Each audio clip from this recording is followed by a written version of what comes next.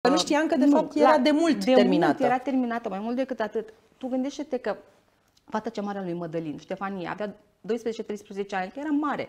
Deci ea a ales să stea cu tatăl ei. Ea a ales să stea cu noi, că ea a fost întrebată, da?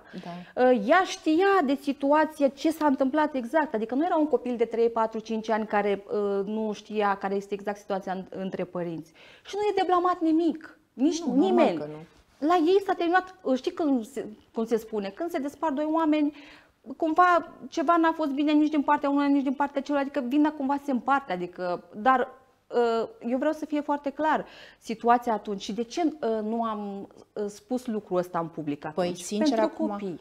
pentru copii. Da, știi cum e? Una e când uh, bărbatul se duce cu altul și alta e când mama se duce sau uh, soția se duce cu altul, știi? Nu e chiar. Înțelegi Deci ce tu- spun? Wow, da, Înțelegi? înțeleg. Deci, și nu m-a wow! lăsat Mădălin. Deci, eu am vrut să fac pe chestia bune. asta.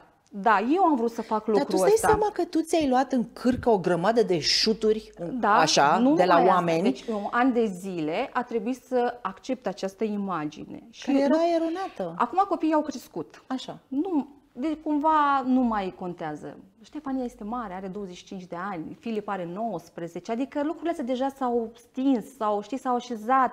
Nici nu mai contează acum ce a fost, cum a fost, adică pot să vorbesc liber despre ele. Da.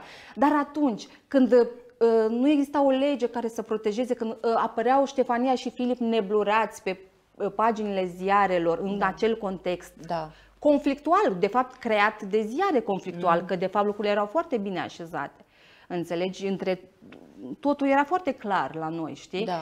Uh, nu, și nu avea nimeni cine să te protejeze. Nu, și dacă apelai la judecată, dura procesul nu știu câți ani și Dar nu rezolva asta, nimic. asta arată, deci din nou descoper latura ta sensibilă, empatică, da? Da. Faptul că tu acum îmi spui că ai preluat în cârca ta o m, imagine falsă. Deci tu, tu, tu ai uh, lansat această uh, impresie falsă în fața Nu, lumii eu nu- ca să da, protejezi copiii, copiii. ca să protejezi, să poate să-l Păi știi ce protejezi se și pe întâmpla? Mădălin, da? Nu neapărat să Și- protejezi pe Mădălin, și că mai e Mădălin un nu lucru. avea... Ei, um, uh, situația lui din fosta uh, relație, până la urmă nu conta cine s-a dus primul, că la ei nu mai, nu mai mergea, nu mai era situația ok, da? De fapt, despre asta e vorba. Faptul că s-a întâmplat ca fosta parteneră să bă, bă, găsească... Bă, deci, cineva Mădălin era cu munca, cu copiii, cu astea, înțelegi? Da, el, se, Și- el uh, intrase, se, intrase în muncă mai Da, mult, da, nu? adică muncă, da, și-a înțelegi, găsit pentru că uh, în televiziune acolo. știi foarte bine, în momentul când Știu. faci o emisiune zilnică,